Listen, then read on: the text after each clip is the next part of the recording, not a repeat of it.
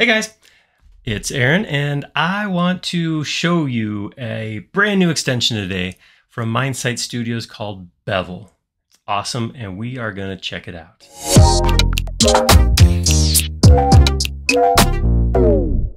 So there are a handful of commands that do something similar to what Bevel does, but Bevel does in a different way. Uh, so the thing it does is it puts bevels on things or chamfers um, it actually goes in and takes those those corners, those hard corners, and knocks them down, rounds them out. And the way it does it is is really the cool part, the thing I want to look at, because it does it in a way that uh, that I really like. so uh, let's let's take a look at it and uh, find out about more about Bevel from Mindsight Studios. Okay, so um, Bevel is currently available from Mindsight Studios. We'll have a link down in the description below. Uh, it is a paid extension. There is a trial version, so you can try it out for 15 days. And 15 days is more than enough to see the value in this, especially if you do any kind of soft-sided or beveled geometry like what you're seeing right here. It's going to be well worth the the couple bucks it costs to do that. I mean, this is this is just a super powerful tool. So I'm gonna stop talking about it. We're gonna go do it. Let's take a look at using Bevel. So once you get Bevel installed, you'll see here, uh, I do get this toolbar, a real simple toolbar. I'm a big fan of, of keep it simple, right? Keep it simple, Aaron, Kissa. That's what that's meaning means. That's what that, that phrase means. So we only have a couple buttons here. I'm not going to, this is not going to be exhaustive. I'm not going to go into all of it. I'm going to tease you guys. I'm going to show you guys some of the stuff that Bevel lets you do, and then uh, you can kind of get the feel of, of how you might use it. But if I look at some of these, the main tool that I've been using is right here at the top, which is the bevel tool. And what the bevel tool lets me do is come in here and grab a face, grab an edge, and just grab it and just start beveling it. Look at that. I just, I'm doing that. I'm just clicking on it and beveling it. So one thing you'll notice down at the bottom, it does say segments. So I can actually change that. So if I want to do, you know, kind of something more blocky, I can put in three or two. See that? And of course, if I want to go real, if I type in 12, then I'm going to get like, you know, 12, oops, 12, enter. And that's going to give me nice, smooth. See that? I actually have those, that right there. Um, I can take a face and do the same thing. I can take the face and I get this cool preview, this kind of wireframe preview of what the final bevel is going to look like. And I can actually, this is the part I liked about it is I don't always know how many inches my bevel is going to be. So being able to just click and drag and release when I find the, the shape I want, that's pretty cool. The other thing that's neat about this is it automatically jumps through and finds geometry in the back. See that? Look at that. There's, here's my other side. take that and bring all the geometry in. Um, it's also this is this is another tool. One of the things I really liked about this.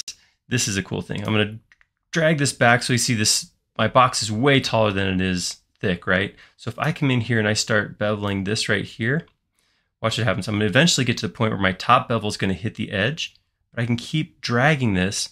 And look, I get this, I get this uneven arc, this, see that? See how I drag it down? And it's, it's not a symmetric bevel. I think that is awesome. I really like the ability to go in and sculpt on geometry as opposed to you know not always going in and very specifically putting in exact geometry. So this works so well in what the way that my workflow works, which is kind of like feeling how I want the geometry as opposed to knowing exact dimensions or anything like that. Undo that. And I can grab a face. I can also pre-select geometry. So I could grab, you know, all this geometry. I could double click a face and then hit bevel. Um, you have that choice. If I come in here and do a bevel and I want that same bevel on the other side, just like the rest of SketchUp, double click. Um, I like that. I can't tell you how much I appreciate when extension manufacturers kind of follow paradigms that already exist. There's not like a modifier key to do the same bevel again. It's that quick and easy. Um, and this is, again, this is this is just some of the some of the cool stuff. So let's grab this guy right here and bring this up, and look how this happens. How how easy and quick it is to just throw these bevels onto this geometry. It again, just the click and drag is super cool. And I know I'm I'm I'm harping on the same thing over and over again, but this is what I did when I downloaded this and started playing. I just started drawing geometry and pulling it up. that simple. We are not even get again, we're not even getting into some of the other stuff. Like we're going to come back and talk about live bevel um, and that sort of thing, but we're not even going to go into all the stuff it does. Because like I said, I got to leave you guys wanting a little bit more. You got to come and play with it yourself. But I can do the same thing. I've been doing exterior demo or exterior corners, outy corners instead of any corners. But you can see I can do the same thing here. Let's go and let's let's select that and that. Let's grab all the corners at once. Go grab bevel. Oh man, I love it. It is so smooth, so quick, so easy, and perform. It's fast too. I don't. It doesn't end up sitting there thinking for a long time. Um, I'm going to undo that, and here's I'm going. I'm going to grab. I just want that, just that geometry. I'm going to go ahead and make it into a group, and show you this thing called Live Bevel. When I click Live Bevel, what it's going to do is automatically put a bevel on all the geometry in this selected group. So I can come in here and I can actually, you know, set how big that offset is.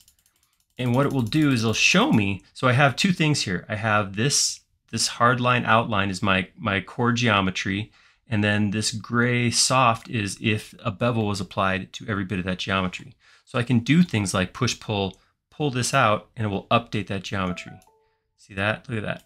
So, so, so, so simple, so easy to do, so quick to do. And I can add geometry too, right? So I come in here, draw a rectangle on this face, and then pull it out, and it's going to add that same, ooh, got a growth, you should get that checked. It's going to add that same softness to every bit of geometry I have. So let's throw a rectangle up here and push it down in. And I'll see that nice soft pit there. Oh, so cool. So, and I can change, I can change my, my preview to what do I want to actually see? So just see the bevel geometry. Do I want to see the proxy geometry? That's my non-bevel geometry, or do I want to see both? Visualize one laying over the other. And then I can also uh, come in here, make adjustments. How, how, what's my opacity like? Want to see that? Um, very cool, very nice. One thing that I have noticed a little bit of is because this geometry actually exists, it's actually showing you both geometries at the same time, you can actually inference this hidden uh, bevel geometry. So you just have to be kind of careful. If you're going to do a lot of real precision work, zoom in or turn your bevel off and do your do your work just on your proxy and then come back to preview it. Um, just something to note. Not a bad thing, just a thing. That's the way it works. So I, the first time I came in here, I tried to draw a line to break a surface, and I think I ended up doing something like this, inferencing to the face rather than snapping down. So again, not a big deal, but uh, something you want to be conscious of as you're you're doing that kind of work. But yeah, it's awesome, and I mean, this is this is the kind of stuff I got excited about, right? So let's grab some wonky off-axis geometry and try beveling. What happens? Uh, it does exactly what it says it's going to do, Aaron. That's what happens. So yeah, I, I would highly recommend check this out. Uh, try try it. Like I said, it's got a trial, so you can't you can never lose with a trial, right? A trial's a great way to see if something's going to work for you. See if it works in your workflow. I didn't even get to a lot of the stuff here. It does have some stuff like automatic smoothing and cleaning up your model. Um, great tools all, but man, just that that dragging bevels, well worth it for me. The way it fits in my workflow. So MindSight Studios, that's the name of the website. Like I said, there's a link down below, but check it out. Bevel, super simple way to add bevels to your model. Uh, some people are to really like that live model or that live bevel where it automatically bevels as you're creating geometry. That's great if your whole model's rounded. Otherwise, like me, I just I see so many opportunities to grab geometry and just start sliding that slide, sliding my mouse back and forth to create those round edges. Um, that's what I'll be doing. I'll probably be using this I have a live model later today. I don't know if I'll use it or not. We'll see. We'll have to see what happens, but it's going to make it into my workflow. It is part of my de default toolkit now. Uh, so yeah, check it out. Bevel from MindSight Studios. If you like that video, click like down below. And if you haven't already, please do subscribe. We create several videos a week and be notified of all of them if you subscribe. Most importantly, they'll leave us a comment down below. Let us know what you think of Bevel. Let us know what you think of other extensions. Is there something else we should be checking out in these videos? Do you have an idea for something we could model? We like making these videos a lot, but we like them even more when they're showing something you want to see. Thank you.